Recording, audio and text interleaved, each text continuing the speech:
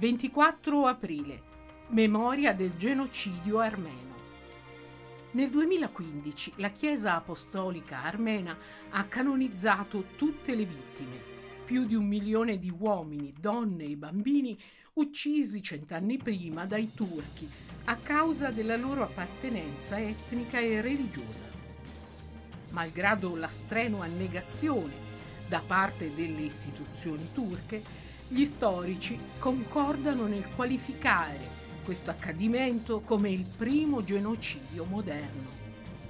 Il 24 aprile è divenuto dunque giornata della memoria, come annunciato da Sua Santità Karichin II, patriarca armeno di Costantinopoli, 132 cattolicos di tutti gli armeni, nell'enciclica con cui aveva aperto ufficialmente le celebrazioni del centenario.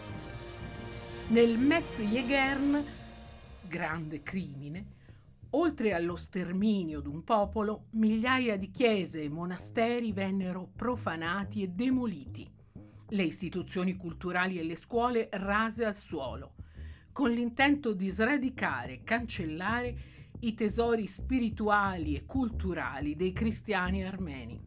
Nelle marce della morte, che coinvolsero 1.200.000 persone, pochissimi sopravvissero a fame, malattia, sfinimento. Ma il coraggio della fede e il genio che caratterizza questo popolo disperso ma non distrutto ha saputo tornare a brillare, come ha spiegato il patriarca celebrando la risurrezione. Riponendo la nostra speranza in te, Signore, abbiamo continuato a vivere quando altri ci volevano morti. Anche la Chiesa cattolica armena ha avviato la beatificazione di alcune decine di suoi figli vittime del genocidio.